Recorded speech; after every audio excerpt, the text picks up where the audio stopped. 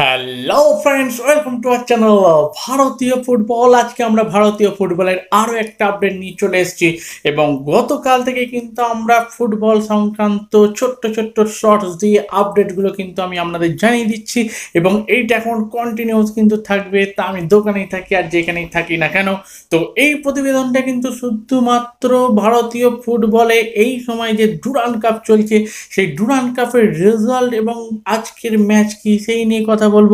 তার সঙ্গে সঙ্গে কলকাতা ফুটবল লিগের রেজাল্ট নিয়ে কথা বলব। আজকে যে ম্যাচগুলো আছে সেটা নিয়েও কথা বলব। এবং অবশ্যই বাংলার এক জয়েন্ট অর্থাৎ ইস্ট বেঙ্গলের কিন্তু আজকে খেলা আছে। সেই ইস্ট বেঙ্গলের খেলার যাবতীয় প্রিভিউ নিয়ে কিন্তু আমরা চলে এসেছি। তো চলুন মেন ভিডিও পৌঁছে যাওয়া যাক।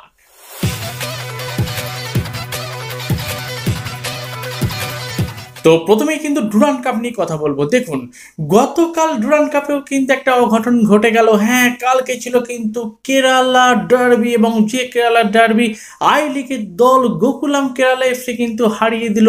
আইএসএল এর দল এবং খুব শক্তিশালী এক দল কেরালা ব্লাস্টার ফুটবল ক্লাবকে এবং খেলার ফলাফল হয়েছে চার তিন। অর্থাৎ দারুণ উত্তেজনাপূর্ণ কিন্তু খেলা হয়েছে।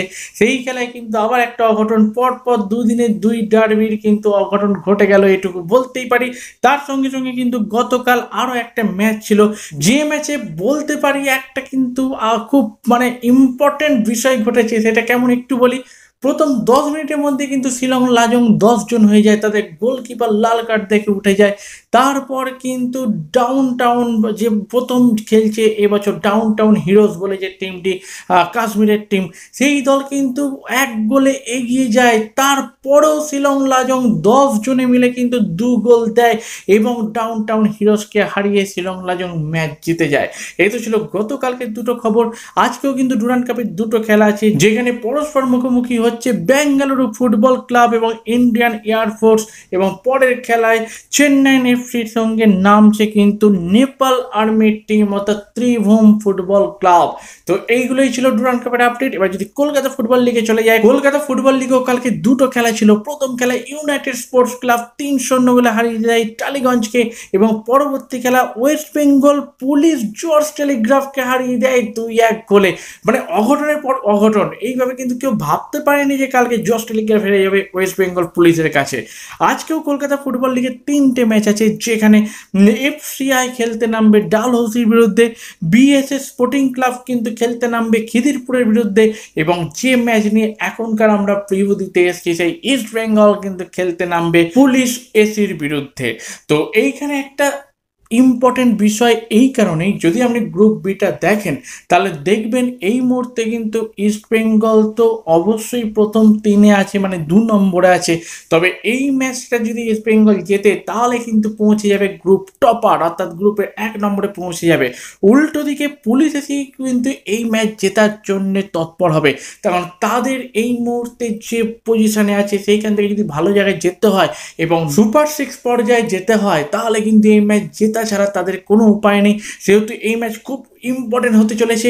আর উল্টো দিকে ইস্ট বেঙ্গলের কথা যদি বলেন ইস্ট বেঙ্গল আগের ম্যাচে ডার্বি জিতেছে। হয়তো East Bengal senior team derby জিতেছে। কলকাতা ফুটবল লিগ খেলছে তাদের ডেভেলপমেন্টাল টিম তাও কিন্তু এই জুনিয়ররা ডার্বি ম্যাচের খেলার পর খুব উজ্জীবিত, যেটা কিন্তু ইস্ট বেঙ্গলের এই দলের যে কোচ অর্থাৎ বিনো জর্জ, তিনি কিন্তু নিজেই বলেছেন যে আমার টিমের প্রত্যেকটা ছেলে কিন্তু চার স্টাফ এবং তারা এই ম্যাচ জিততে বদ্ধপরিকর।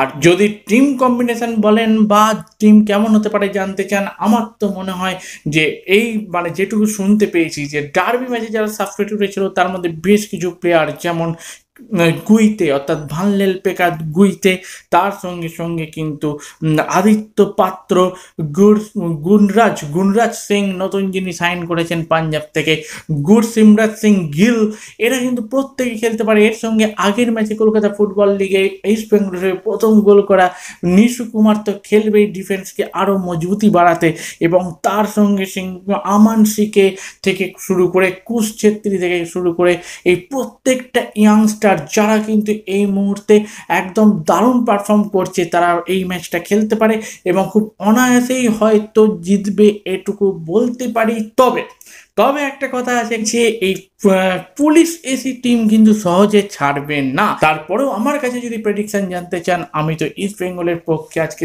দুই শূন্য দেখতে পাচ্ছি। হয়তো গোলের ব্যবধান আরও বাড়তে পারে এবং তখন গোল যখন বাড়ানোর জন্য অ্যাটাকিং পোর্শনে যাবে, তখন কিন্তু পুলিশ এসিরও এগেনস্টে গোল কিন্তু ঢুকে যাওয়ার একটা সম্ভাবনা থেকেই যাচ্ছে। দেখা যাক, আমার প্রেডিকশন দুই শূন্য অথবা চার দুই ইস্ট বেঙ্গলের পক্ষ থেকে। এই বলে এখনকার জন্য আমরা এই প্রতিবেদন শেষ করছি। যদি ভালো লাগে তাহলে অবশ্যই লাইক করবেন শেয়ার করবেন, নিচে কমেন্ট বক্সে আপনাদের মন্তব্যগুলো লিখে পাঠাবেন। এখনকার জন্য ভিডিও আমরা এখানে শেষ করলাম। টাটা।